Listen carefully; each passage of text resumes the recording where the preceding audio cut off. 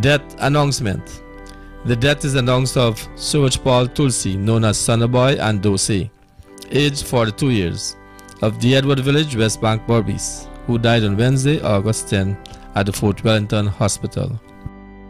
He was the son of Eunice and the late Tulsi Rambali of the Edward Village, son-in-law of Leela and the late Kisoon of Number 4 Settlement, Blairmont, husband of Annie, father of David, Sasha, Nikisha, and Melissa father-in-law of Devi and Kevin, brother of Devchan, Seuchan, Frankie, Shanta, Sita, and Taro, brother-in-law of Ramdev, Sophia, and others, Desiree, Debbie, Sharda, Sharon, Marlin, and Sunil, nephew of Rita, Dale, Pauli, Baldev, Bago, Anjani, Chabi, and others, relative of many, friend of many neighbor of Azad, Melo, Chini, Priya, and others.